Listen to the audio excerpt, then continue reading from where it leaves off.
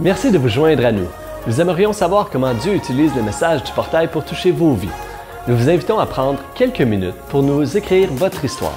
Aussi, si vous désirez nous aider concrètement à continuer de partager ce message en ligne qui proclame que tout a toujours rapport avec Jésus, vous pouvez visiter notre site Internet pour trouver la manière de donner qui vous convient. Merci et profitez bien du message d'aujourd'hui.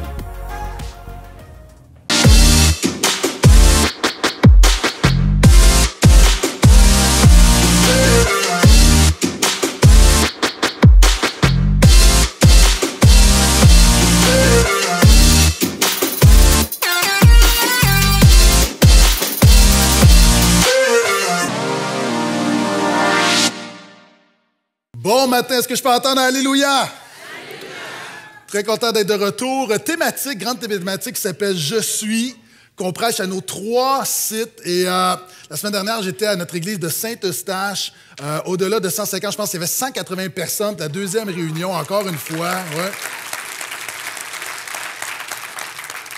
Très fier du travail de l'équipe là-bas sous le leadership de Pasteur Denis. C'est excitant. Euh, quand je vais à Terrebonne, également la même excitation. Et euh, vous savez, pour cette série, trois églises, donc trois, la même série, donc c'est pas toujours le même message, mais on va passer au travers les, la même thématique. Donc, ça nécessite 21 messages en un mois et euh, je suis très fier de dire qu'il y a sept prédicateurs différents qui prêchent au portail dans cette série. La semaine dernière, Pasteur Simon a fait un super message. Oui. Et, ce qui est important au portail, c'est pas, tu sais, le matin, là, quand on arrive, on dit qui qui prêche? Qui qui prêche le matin? Ce qui est important, c'est pas qui qui prêche, mais qui on prêche, Jésus-Christ, seul Seigneur.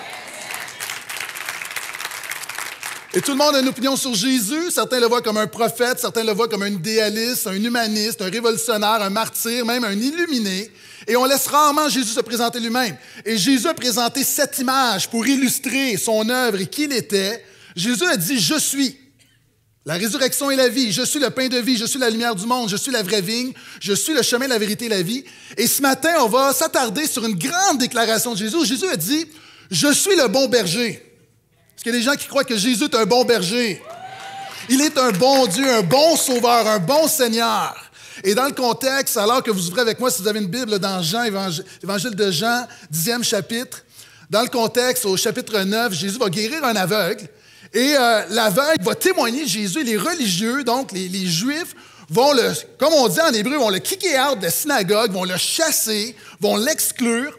Et ça va amener Jésus à parler, euh, à reprendre une prophétie qui avait été donnée dans, euh, par le prophète Ézéchiel au chapitre 34, où Dieu dit à tous les, mon peuple, il y a plusieurs pasteurs, des prêtres, vous êtes de mauvais bergers.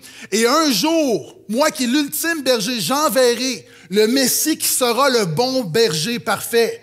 Et ça amène Jésus à révéler que ce bon berger, cette prophétie est accomplie. Jésus est le bon berger.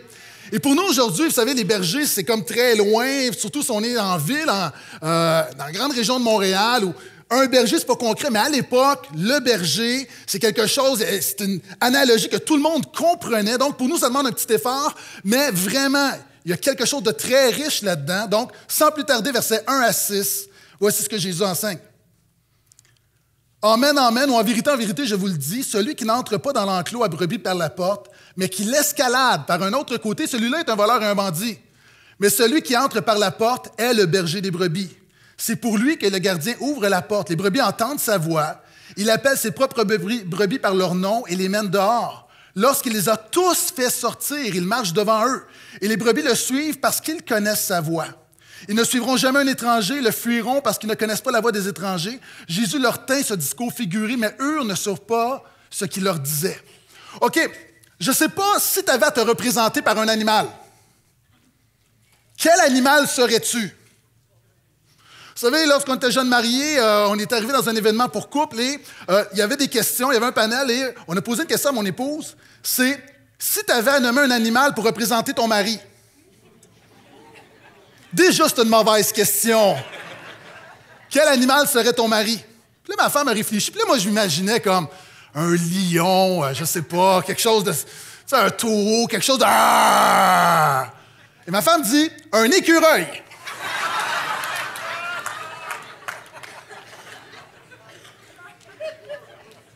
Ça a une chicane de couple, un écureuil. Puis là, je l'ai regardé comme plein d'incompréhension. Pourquoi tu me fais ça? Un écureuil. Et là, ma femme, je sais pas, j'ai pensé à toi, elle dit, un, un animal stressé qui va vite, qui va partout, elle dit, un écureuil. Maintenant, Jésus nous compare, te compare, me compare à un animal. Et voici ce que tu dois comprendre. Vous savez, souvent, là, on a une vision bucolique du berger, puis des brebis, puis ah, on va briser ça assez vite, là. Ce que Jésus est en train de dire, c'est que tu es une brebis. Est-ce que je peux entendre amène? Tu es une brebis sale, stupide et vulnérable sans Jésus. Et là, il y a des gens qui se disent Hey, je suis invité ce matin puis ils m'insultent. Bienvenue à l'église de Portail. Euh, quelquefois, Jésus est très direct. Quelquefois, on a besoin d'une vérité qui confronte. Et Jésus dit que nous sommes une brebis. Puis souvent, on n'a pas l'image de la brebis, mais est-ce que tu as déjà été dans une bergerie? C'est sale, ça pue, il y a des mouches partout, ça sent pas la guimauve. Et quand Jésus dit, souvent on dit, Jésus le bon berger, Amen! Mais ça implique que tu reconnaisses que tu es une brebis. Puis une brebis, c'est un animal qui a toujours peur, qui est fragile, qui a, qui a besoin d'un berger. C'est pas super intelligent, une brebis. Là, tu dis, ben là, moi, je suis intelligent. Jésus parle de manière spirituelle. Nous n'avons pas d'intelligence spirituelle. Nous sommes des idiots spirituels. On tombe toujours dans le panneau du diable. On commet toujours les mêmes péchés. Est-ce que tu comprends ce que je veux dire? Et la réalité, c'est que Jésus dit, tu es une brebis, puis il y a plein d'exploiteurs autour de toi. Il parle des voleurs et des bandits. Vous savez, quand j'étais dans cette bergerie, euh, le berger disait, moi, là, mes brebis, c'est comme mes enfants. J'en prends soin. C'est comme je les connais, je les aime. Puis alors qu'il me parlait, je lève la tête, puis là, je vois comme agneau, 19,99 le kilo.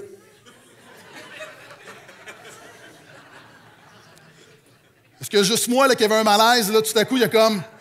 En fait, il les aime pour la viande et la laine. Et, et je comprends, là, c'est légitime. Je comprends. Mais Jésus dit a des gens autour de toi. Ce monde est plein d'exploiteurs. Est-ce que je suis seul ou j'ai l'impression que tout le monde autour de moi veut mon bien et s'arrange pour l'avoir? Le gouvernement, je n'ai pas toujours la conviction qu'il travaille dans mes intérêts. Peu importe les partis confondus, est-ce qu'on est, d'accord? Euh, J'écoutais la conférence de presse du Canadien de Montréal. Est-ce que je suis seul à sentir qu'on est en train juste de, de raconter n'importe quoi pour garder ma loyauté? Puis pour s'assurer que je ne devienne pas un fan des prédateurs, puis dire go piquer, est-ce que je suis seul qui, euh, je sens que c'est pas sincère? Est-ce que je suis seul qui, je regarde tout autour de moi, puis j'ai l'impression que lorsque j'entre dans un, magasin pour m'acheter des vêtements, puis la vendeuse me dit Oh monsieur, ça vous fait tellement bien. Est-ce que je suis seul qui me dit hum, Est-ce que ça se pourrait qu'elle veut juste faire une vente? Est-ce que je suis seul quelquefois, tu travailles pour une entreprise, pour une boîte, puis tu as l'impression que tu es là juste pour ta viande et ta laine, juste qu'on peut soutirer de toi? Est-ce que je suis seul ou quelquefois dans la vie, on a l'impression qu'il y a des gens autour de nous, puis il y a des gens, tu as peut-être l'impression que ta relation conjugale, ta relation de couple, l'autre veut juste t'exploiter, ou tes enfants veulent juste t'exploiter, ou tes parents, ou puis une réalité, on est dans un monde d'exploiteurs où il y a plusieurs bandits, des voleurs qui veulent s'accaparer, qui ne sont pas là pour notre intérêt, mais qui s'occupent de nous pour ce qu'on peut leur rapporter. C'est toujours là, disant Amen, même si on ne se réjouit pas de ça. Ça, c'est la vraie vie. Et Jésus dit, je veux être ton berger. C'est pour ça que tu as besoin d'un berger. Tu as besoin de Jésus. Vous savez, j'aime beaucoup cette histoire d'un homme à un moment donné qui veut faire plaisir à ses enfants et décide d'aller acheter une brebis. Donc, je l'ai déjà raconté il y a plusieurs années. L'homme s'en va et il va voir un berger. Puis s'entend, il dit Est-ce que je peux acheter une brebis? Puis il dit Ouais, ouais, ça va coûter tant, puis tout ça. Puis l'homme, est super content. Puis le berger lui dit Ok, tu peux choisir la brebis que tu veux. Fait que là, il regarde, puis à un moment donné, il prend la bête, la met sur ses épaules, sais, comme dans les films. Là, il est fier de lui, là. Puis là, il s'en va voir le berger, il dit Je l'ai choisi. Et là, le berger le regarde, puis il dit Toi, tu viens de la ville, hein? Ouais, comment tu fais pour savoir ça? Le berger lui dit OK, mets le chien à terre, je vais t'expliquer.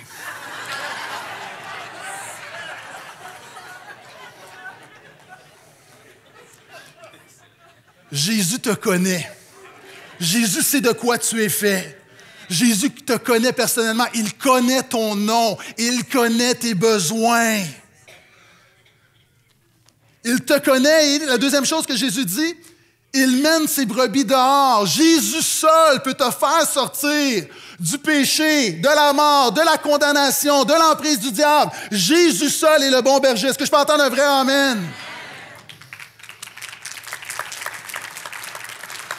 Et, quand on prend le temps de lire le texte, c'est quelque chose qui est quelque chose de touchant. Jésus ne dit pas simplement il les mène dehors, il les fait tous sortir.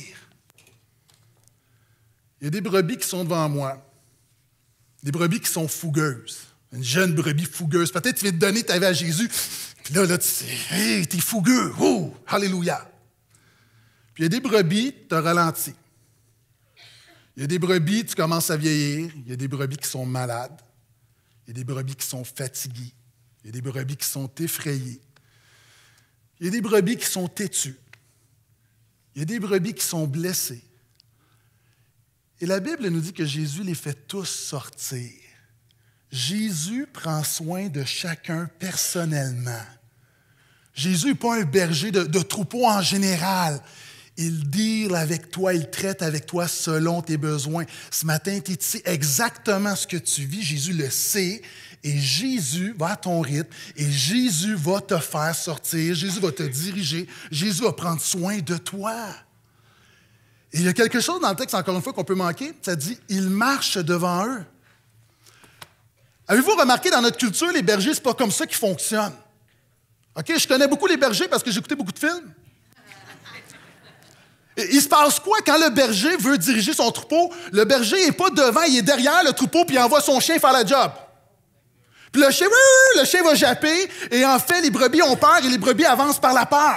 Et ça, c'est l'image des religions et des philosophies dans notre culture qui font avancer les gens par la peur.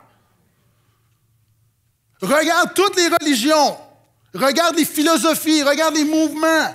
Fondamentalement, on joue sur les peurs. Mais la Bible nous dit que Jésus n'est pas derrière, qui te fait marcher par la peur. Il est devant, il veut que tu le suives non par peur, mais par amour. C'est une belle image du christianisme. En une phrase, Jésus vient de résumer le christianisme. Jésus est devant. C'est pourquoi au portail, on dit, on t'invite à suivre Jésus, à le suivre par amour. Il marche devant toi. Tu es une brebis sale, stupide et vulnérable. Je le suis. Mais avec Jésus, il nous fait sortir, il donne un sens à notre vie, il nous pardonne, il agit en nous. C'est toujours là, dit Amen. Et Jésus dit une deuxième chose, 7 à 10. Jésus leur dit encore, Amen, Amen, je vous le dis, je suis la porte des brebis. Donc Jésus va faire une transition au niveau de l'analogie, mais il dit quelque chose de très important. Tous ceux qui sont venus avant moi sont des voleurs et des bandits, mais les brebis ne les ont pas écoutés. Je suis la porte. Si quelqu'un entre par moi, il sera sauvé, il entrera et sortira et trouvera des pâturages. Le voleur ne vient que pour voler, tuer détruire. Moi, je suis venu pour qu'ils aient la vie et qu'ils l'aient en abondance. Wow. Jésus dit Je suis la porte. Tu dois comprendre l'analogie, c'est que dans les enclos, dans les bergeries, généralement, il n'y avait pas de porte. Et la nuit, ce que faisait le berger, c'était ça.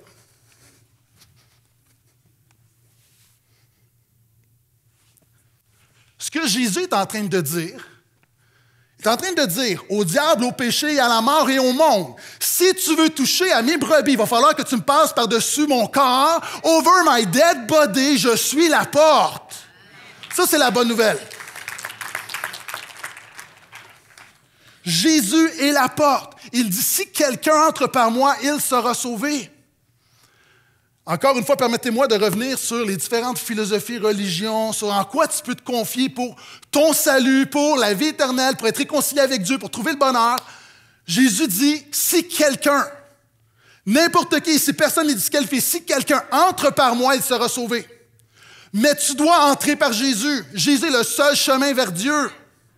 Jésus n'est pas une porte, il est la porte. Vous savez, quand j'étais pasteur à Montréal, euh, on était dans un centre d'achat et euh, à un moment donné, il y avait une bijouterie sous l'église. Et il y a quelqu'un qui était magasiné à la bijouterie de nuit.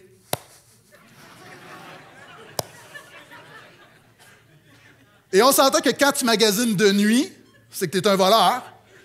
Puis ce qu'ils ont fait, c'est qu'à côté de l'église, nous on était au deuxième étage, ils ont percé un trou, puis ils sont rentrés, puis ils ont, pris, ils ont pris les choses.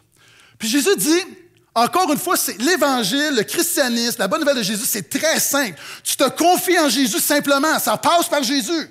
Il dit toutes les religions, tous ceux qui sont venus avant moi, toutes les philosophies, tout ce que tu peux entendre, développement personnel, épanouissement personnel, les coachs.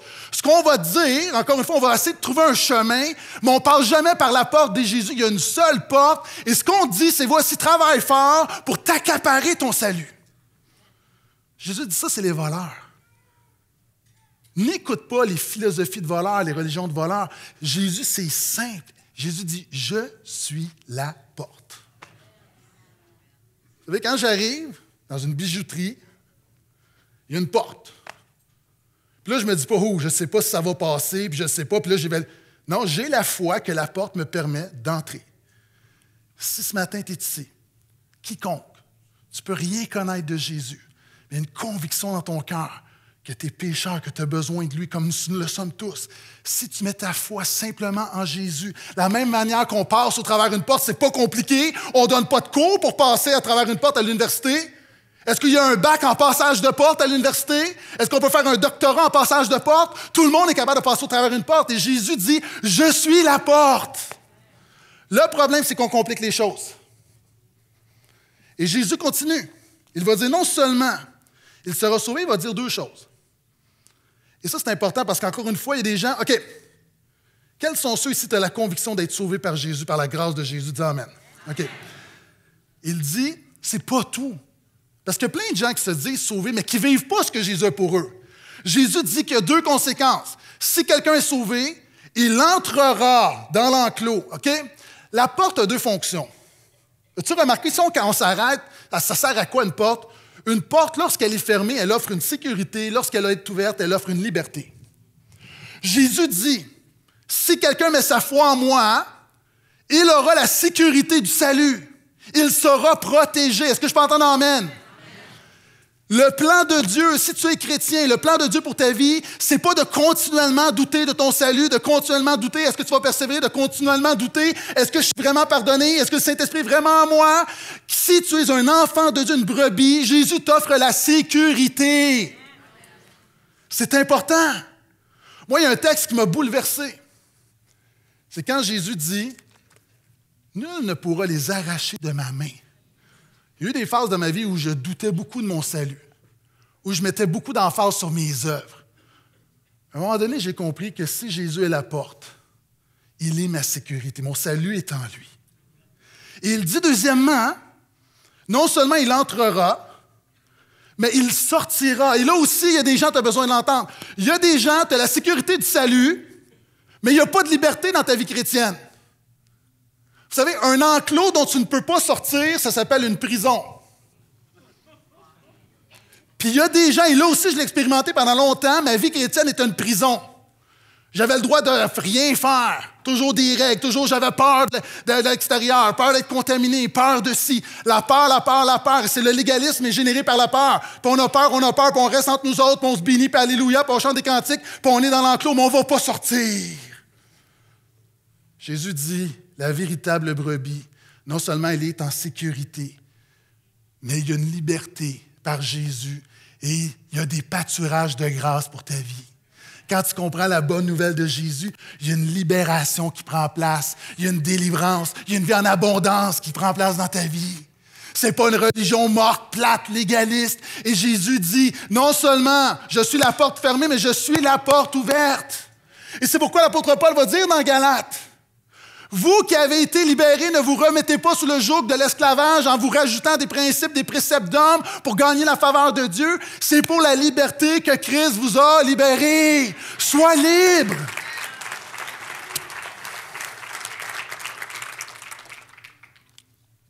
Et souvent, il y a une bonne motivation pour qu'on ne comprend pas cette liberté. On se dit, oui, mais il y a le compromis, oui, il y a le péché, oui, mais je vais être contaminé. Mais encore une fois, l'œuvre de Jésus par son Saint-Esprit dans ta vie, elle est plus solide que tu crois. C'est pas normal que les chrétiens aient des vies médiocres. On est comme.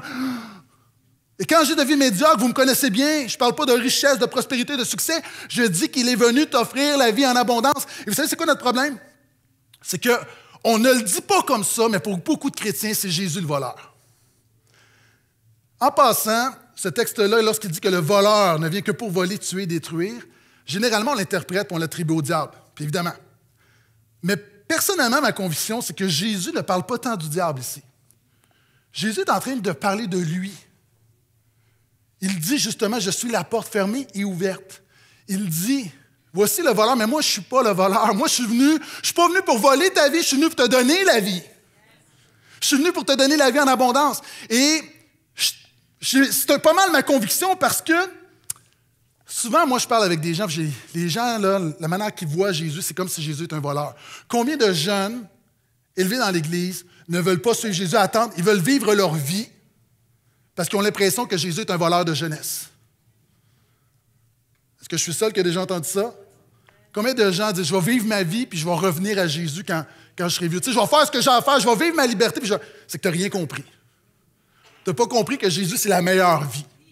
Tu n'as pas compris que sans Jésus, c'est la mort. J'ai donné ma vie à 17 ans. Jésus, c'est la meilleure décision que j'ai prise de ma vie. J'ai donné ma vie à Jésus à 17 ans et j'ai pas l'impression d'avoir volé ma jeunesse, de m'avoir fait voler ma jeunesse. J'ai eu l'impression d'avoir reçu cette vie en abondance qui jaillit jusque dans l'éternité, qui a bouleversé ma vie. Jésus est la vie. Et souvent, on a l'impression même que Jésus vient pour nous voler le plaisir, vient pour nous voler notre temps, notre argent, notre santé.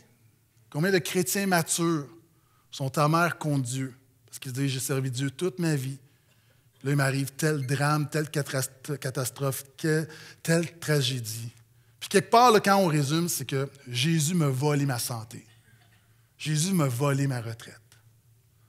Je le dis avec beaucoup de respect. Mais je le dis parce que c'est pertinent. Je le dis parce qu'il y a des brebis ici. C'est ça qui est dans ton cœur. Tu entends parler de la vie en abondance, tu dis, oui, et où cette vie-là? Et Jésus prend la peine de dire, je ne suis pas un voleur. Je suis venu afin qu'elle ait la vie et qu'elle l'ait en abondance. Je ne sais pas ce que tu vis. Il y a trop par contre, ce que je sais, c'est qu'il y a trop de chrétiens qui sont en survie. En survie il y a trop de chrétiens qui, ton expérience n'est pas ce que Jésus voudrait pour toi. Il y a beaucoup de chrétiens aussi qui ont une petite vie. C'est que la vie chrétienne, c'est comme, c'est une petite vie. Puis en passant, et je ne veux pas choquer, je veux juste être clair, Jésus n'est pas venu offrir une vie chrétienne. Dans le sens de, il n'est pas venu mettre une couche de christianisme sur ta vie. Jésus est venu complètement te donner une vie complètement différente, complètement nouvelle. Et c'est pourquoi Jésus dit, et cette vie-là, je suis venu afin qu'elle ait la vie, cette vie spirituelle qui a une répercussion éternelle, c'est une vie en abondance. Mais là, il y a des gens ici, tu dis, mais moi, je ne vis pas cette vie en abondance. Maintenant, OK, définissons, c'est quoi la vie en abondance? Le problème, c'est que ta définition n'est pas celle de Jésus.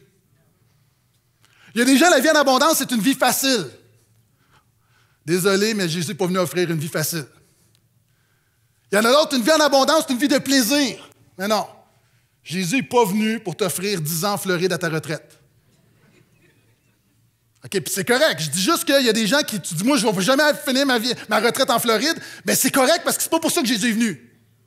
Il y en a d'autres qui pensent que la vie en abondance, c'est une vie intense. Ah! Calme-toi.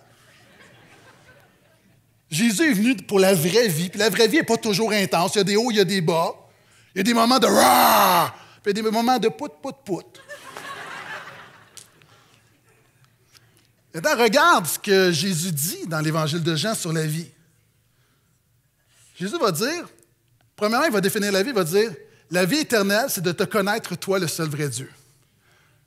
La vie est connectée à Dieu. Jésus va dire qu'il est venu, que Dieu a donné son Fils unique, afin que quiconque croise en lui ait la vie éternelle. Et notre problème avec la vie éternelle, c'est qu'on voit une vie éternelle comme hein, qui ne finit jamais. Mais c'est une vie pleine. Jésus va dire celui qui a le Fils a la vie. Est-ce qu'il y a des gens qui ont le Fils ici? Et c'est pourquoi Jésus va dire tu dois naître de nouveau, tu dois avoir une nouvelle naissance, tu dois revenir, tu dois avoir cette vie spirituelle qui prend place maintenant et Jésus dit que si tu as cette vie, lorsque tu mets ta foi par l'œuvre du Saint-Esprit, tu nais de nouveau. Même si tu meurs, tu ne vas pas mourir. Tu peux mourir biologiquement, mais tu vas continuer de vivre. Parce que cette vie va jaillir jusque dans la vie éternelle. Pourquoi? Parce que Jésus dit, je suis la résurrection et la vie. Je suis le chemin, la vérité et la vie. Jésus est la vie. Mais Jésus va dire, le problème, c'est que vous ne voulez pas venir à moi pour avoir la vie. En fait, qu'est-ce que Jésus est en train de dire? quand il dit Je suis venu offrir la vie en abondance. Jésus est en train de dire Quand tu te confies en lui, il y aura plus de vie divine en toi que de péchés, de problèmes, de maladies de mort. Ça veut dire quoi? Puis Jésus le dit, il y a des voleurs, il va y avoir des loups. La vie n'est pas facile. Il y a des drames, il y a des tragédies. Ce que Jésus est en train de dire, c'est que la vie de Dieu va toujours avoir le dernier mot. La vie, de Dieu est plus grande que n'importe quoi. OK, moi, à la maison, on a un foyer à l'extérieur. Et lorsqu'on finit la soirée, je prends mon, tuyau d'arrosage et j'éteins l'eau. J'éteins le feu, excusez-moi. J'ai coulé mon cours de biologie. Euh, donc, j'éteins le feu. Mais je dois vous dire qu'après dix ans, le feu n'a jamais gagné. Pourquoi? J'ai toujours réussi à éteindre le feu. Pourquoi? Parce que j'ai de l'eau en abondance. L'œuvre de Jésus, cette eau-là, elle est tellement abondante qu'elle éteint le feu de l'enfer pour ta vie. C'est puissant. Et ça veut dire que oui, quelquefois, la flamme de l'épreuve va venir sur ta vie. Oui, quelquefois, la maladie va brûler dans ta vie. Les problèmes vont brûler. Le divorce peut brûler. Il y a plein de trucs dans ta vie, dans ce monde qui subit les conséquences du péché. Oui, soyons pas naïfs. Jésus n'est pas naïf. Nous allons vivre des difficultés, des souffrances, des tribulations. C'est pas ça la vie en abondance. La vie en abondance, c'est que toutes ces choses ne triompheront pas. Christ va triompher dans ta vie. Et voici la troisième chose, et je termine avec ce point. Troisième chose que Jésus va dire. Je suis le bon berger. Le bon berger donne sa vie pour ses brebis. Quand il voit venir le loup, le mercenaire, celui qui n'est pas berger, et pour qui il ne s'agit pas de ses propres brebis, s'enfuit en abandonnant les brebis. Et le loup s'en empare et les disperse. C'est un mercenaire, il n'a pas le souci des brebis. Je suis le bon berger. Je connais mes brebis, mes brebis me connaissent. Comme le Père me connaît, comme moi je connais le Père, et je donne ma vie pour mes brebis. J'ai encore d'autres brebis qui ne sont pas de cet enclos. Ceux-là aussi, il faut que je les amène. Ils entendront ma voix. Qui souligne là. Ils entendront ma voix. Ils deviendront un seul troupeau, un seul berger. Si le Père m'aime, c'est parce que moi, je donne ma vie pour le reprendre. Personne ne me l'enlève, mais c'est moi qui la donne de moi-même. J'ai le pouvoir de la donner et j'ai le pouvoir de la reprendre. Amen. Tel est le commandement que j'ai reçu de mon Père. Troisième chose, tu es une brebis. Je suis une brebis. Deuxième chose, et Jésus est la porte. Troisième chose, Jésus est le bon berger. Mais d'abord, il parle du loup. Vous savez, il y a trois images de chrétiens dans la Bible. Trois images. Il y a, et dans l'Église, au portail, il y a trois types, trois types d'animaux. Il y a des brebis, c'est-à-dire de véritables disciples de Jésus. Il y a des boucs, c'est-à-dire des gens qui ont l'extérieur, mais qui n'ont pas la vie intérieure, des gens qui se joignent, qui aiment le message de Jésus, mais qui n'y a pas de nouvelle naissance, il n'y a pas de repentance authentique, il n'y a pas de foi authentique. Il y a comme, il y a quelque chose, mais fondamentalement, la nature n'a pas été changée. Puis je suis content que tu sois là, que tu entends la bonne nouvelle de Jésus, parce que Dieu transforme. Puis il y a des gens qui ont besoin d'un déclic spirituel. Des gens, c'est comme tu entends la bonne nouvelle de Jésus, mais tu ne l'entends pas. Il y a comme. Donc, il y a des boucs. Jésus en parle. Troisièmement, il y a des loups. C'est des gens qui s'emparent et qui disparaissent. Malheureusement, il y a, dans toute l'histoire de l'Église, il y a eu des loups. Depuis 20 ans de ministère, j'ai rencontré des loups. Il n'y en a pas des tonnes dans notre Église, mais il y a toujours, puis il y en a toujours qui arrivent, qui partent, qui arrivent, qui partent. Ça fait partie. Et Jésus parle de ces loups. Puis je veux juste dire la chose suivante. Alors qu'on veut implanter 10 églises, je veux être clair. Une église n'est pas un zoo, mais une bergerie. Ça veut dire quoi? Ça veut dire que les brebis doivent être protégées, les boucs doivent être transformés et les loups doivent être chassés. C'est important.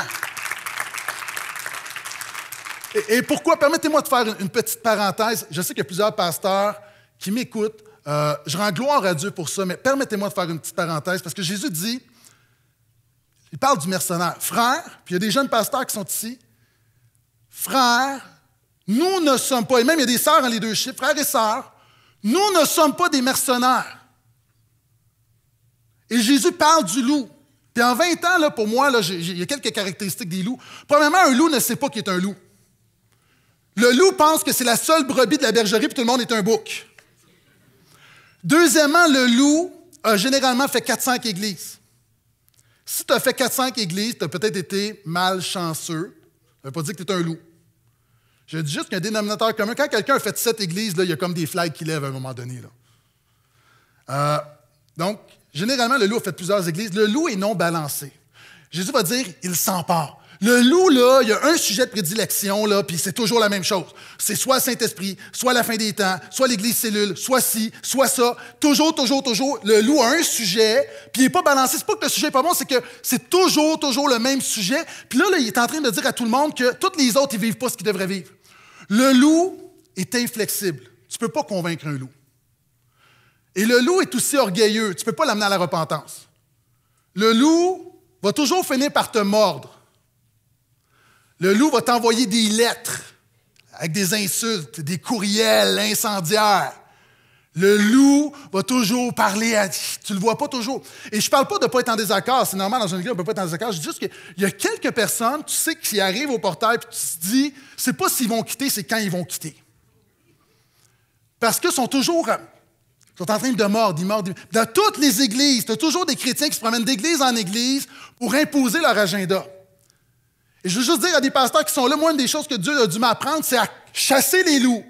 Tu ne peux pas flatter un loup. Tu ne peux pas flatter un loup. Quelqu'un qui manque de respect envers les, brebis, quelqu'un qui fait du mal aux brebis, quelqu'un qui a une mauvaise attitude, qui est orgueilleux, qui est non repentant, qui est le seul à avoir la vérité ultime, tu ne peux pas le flatter. Il faut que tu le chasses avec amour.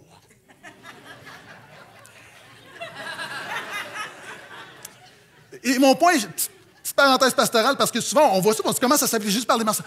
En tant que pasteur, qui veut dire berger, notre job, c'est de protéger, de prendre soin des brebis. Et c'est pourquoi, pasteur, on est content. On veut que les gens arrivent tels qu'ils sont parce qu'on sait qu'il y a des boucs qui arrivent, puis on veut dire que Jésus t'appelle pas être un bouc, il veut te transformer en brebis par sa grâce. Mais c'est important, il y a quelque chose de puissant là-dedans. Et Jésus dit J'ai plusieurs bergeries. Ça veut dire quoi? Une seule église, mais Jésus est en train de dire qu'il y a plusieurs troupeaux. Nous avons une bergerie à Laval, belle bergerie à Terrebonne, belle bergerie à Saint-Eustache. J'ai une bergerie en Gaspésie, en Abitibi, en France, partout. Il a plusieurs bergeries, mais un seul troupeau, un seul berger. Est-ce que je peux entendre un amen à ça?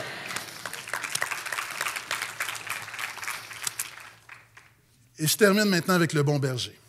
Jésus va dire quatre choses vraiment importantes et vraiment ce matin, particulièrement si tu nous visites ou si tu es avec nous depuis peu, ou peut-être que tu réalises, tu te poses la question, est-ce que je suis un bouc? Est-ce que, est que je suis une véritable brebis? Est-ce que je suis vraiment Jésus? Ou est-ce que je suis juste dans la bergerie, mais je n'ai pas cette relation personnelle avec le berger? Jésus va dire quatre choses. Premièrement, il va dire, je suis le bon berger. Et je répète, quand Jésus dit, je suis le bon berger, je suis la lumière du monde, je suis la résurrection et la vie, ego émis, une expression grecque qui, emprunte à l'Ancien Testament, qui les Juifs comprenaient que Jésus se faisait Dieu. C'est lorsque Dieu se révèle en disant Je suis. C'est ça. En fait, Jésus, lorsqu'il dit Je suis, il dit Je suis Dieu. Vous savez, tout le monde connaît le psaume qui dit L'Éternel est mon berger. Même les non-chrétiens le connaissent. Dernièrement, écouté un film, puis dans le film, à un moment donné, il commence à citer le psaume 23. Je ben, C'est un film chrétien? Non. Et Jésus est en train de dire ce fameux psaume qui dit L'Éternel est mon berger, je ne manquerai de rien. Vous le connaissez, le psaume? Jésus est en train de dire, je suis l'Éternel qui est ton berger. Je suis pas juste un prophète, je suis Dieu qui a marché sur cette terre. C'est intéressant, il dit, non seulement je suis Dieu, je suis le bon berger, il dit, je donne ma vie pour mes brebis. Alors qu'il y a plein d'exploiteurs, de voleurs et de bandits, Jésus est venu donner sa vie pour nous. Là aussi, je veux t'éviter de faire une erreur que souvent les chrétiens font. Souvent, on voit Jésus comme Jésus donne sa vie comme un exemple. Je vous aime. Non, non, non. Jésus n'est pas mort pour un exemple. C'est comme si Jésus se lance en bas d'une falaise et dit Je vous aime. Jésus n'est pas venu commettre un acte exemplaire, mais un acte expiatoire. Il y a quelque chose qui prend place, une transaction spirituelle. Le péché est couvert, le péché est pardonné, la mort est brisée, Satan est lié. Il se passe quelque chose à la croix. Est-ce que je peux entendre amène encore? Il dit, je donne ma vie et j'ai le pouvoir de la reprendre. OK? Moi, je pourrais donner ma vie, mais je ne pense pas que je suis capable de la reprendre. Et si ça ne vous dérange pas, je ne vais pas l'essayer. Et Jésus, je veux juste que tu comprennes encore une fois, si tu connais peu Jésus, Jésus est tellement plus grand que tu penses. Il est Dieu, puis très bientôt, dans deux semaines, je vais parler de la Trinité. Alors qu'on a des baptêmes, je vais parler de la Trinité, je vais vraiment expliquer comment Jésus peut être Dieu et homme. Vous allez voir, c'est inspirant, ça ne sera pas plate, puis je vais y revenir, mais Jésus ici, tu dois comprendre qu'il est Dieu qui a marché sur cette terre, Les chrétiens, on croit à la Trinité. Un Dieu existant éternellement, trois personnes. Deuxième personne de la Trinité, le Fils a marché sur cette terre. Jésus, pleinement Dieu, pleinement homme. Et lorsqu'il a marché sur cette terre, il a non seulement eu une vie, il est la vie. Il est la vie. Et c'est pourquoi, lorsqu'il est mort, les gens, moi au début, je pensais que Jésus, mais quand il se livre, puis aux Romains, puis aux Juifs, on va le crucifier, puis Jésus parle le contrôle. Non, non, la Bible dit, Jésus choisit quand il va mourir. Il dit, je remets mon esprit entre tes mains. Jésus choisit sa mort, il contrôle sa mort. C'est fort. Et je veux juste aussi te dire, alors qu'on a passé par il y a quelques instants, alors que Jésus est dans le tombeau le samedi, il y a des gens qui pensent que Dieu est mort. Je veux juste te dire que pendant que Jésus humainement était dans le tombeau, divinement, il continuait de diriger toutes choses, tout subsiste en lui. Et la mort n'a pas pu le garder, il est ressuscité. Et ce Jésus est monté vers le Père. Il a envoyé son esprit, le Saint-Esprit, troisième personne de la Trinité, je vais y revenir. Et cet esprit est appelé aussi l'esprit de Jésus. Il est en nous et il continue d'intercéder pour toi. Il revient établir son royaume. Mon point est suivant, le bon berger continue de prendre soin de ses brebis. Il prend soin de ses brebis. Et pendant que les musiciens viennent me rejoindre, je vais terminer en te lançant cet appel. Quand on regarde le texte biblique, Jésus dit, je suis le bon berger. Comment est-ce qu'on reconnaît un bon berger? C'est quoi la différence entre un bon berger et un mauvais berger? C'est quoi la différence entre Jésus et tous les autres? Pourquoi Jésus est le bon berger? Savez, il y a un livre qui a été écrit, c'est un berger qui médite sur le psaume 23. Et cet homme qui est chrétien est, berger, puis va vraiment nous aider à comprendre ce que veut dire le psaume 23 ce que veut dire, ce que veut dire Jésus lorsqu'il dit Je suis le bon berger. Et cet homme nous dit quelque chose que les auditeurs de l'époque de Jésus savaient que nous, on a perdu parce qu'on ne côtoie pas beaucoup de, brebis, de brebis, de bergeries et de bergers. Et cet homme dit que pour qu'une brebis soit en repos, en fait, ce que reconnaît le bon berger, par le fait qu'il prend soin des brebis.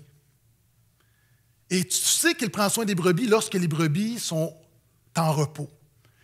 Et ça prend quatre choses pour qu'une brebis soit en repos. Quatre choses pour qu'une brebis soit apaisée. La première chose, ce berger écrit, il faut que la brebis n'ait pas de parasites, n'ait pas de maladie. Jésus est le bon berger parce qu'il vient enlever le parasite du péché dans ta vie. Il y a des gens qui sont ici. Beaucoup, en fait, je ne dis pas beaucoup, la totalité des problèmes dans ta vie sont générés par le péché. Ton péché ou le péché des autres. Quelquefois, on est victime du péché des autres. On va parler de ce qu'on contrôle. Dans ta vie, il y a des parasites, il y a des péchés. Jésus est venu pour enlever ces parasites, pour enlever la maladie, pour pardonner ton péché, te délivrer des parasites, pour te permettre justement de gambader dans le champ qu'il y a pour toi. Donc, il est le bon berger parce qu'il peut faire ce que personne ne peut faire. Il peut pardonner. La deuxième chose que nous dit le berger, c'est que pour qu'une brebis soit en repos, elle ne doit pas avoir peur. Jésus est le bon berger parce qu'il est le seul qui peut briser toutes les peurs dans ta vie. Peur de la mort, peur du futur. Moi, ma mère était agoraphobique. Il y a des phobies qui sont très, très profondes. Et je vais être sensible. Il y a des, des peurs qui ont besoin d'être, euh, qui ont besoin d'un suivi médical. On n'est pas naïf. Ce que je dis, c'est que Jésus est le bon berger qui te protège du loup, du voleur, des bandits. Et en Jésus, tu es en sécurité. Peut-être que tu as peur, qu'est-ce qui va arriver dans ma famille, qu'est-ce qui va arriver dans mon mariage. Jésus peut te donner le repos parce qu'il s'occupe de tout.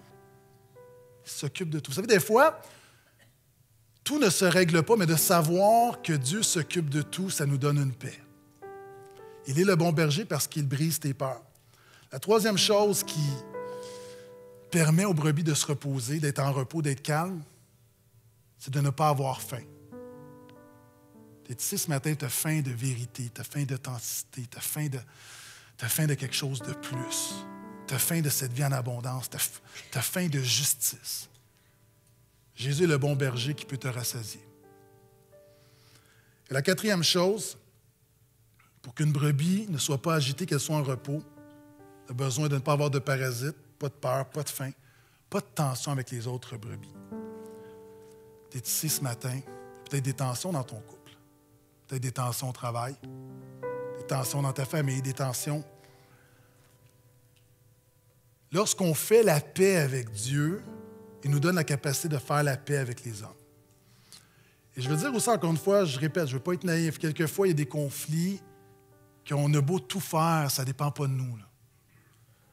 Mais il va te donner la paix, il va te donner la sagesse dans ce conflit. Mais peu importe ce que tu vis, le bon berger peut éradiquer les tensions. Il peut restaurer les relations. Je pourrais terminer mon message ici, mais ça ne serait pas honnête parce que Jésus a dit quelque chose tout au long du texte. Il parle de sa voix. Il dit Mes brebis entendent ma voix. Je termine avec ceci. Il y a des gens ce matin, tu ne sais pas si tu es une brebis. Il y a des gens, tu n'as pas mis ta foi en Jésus.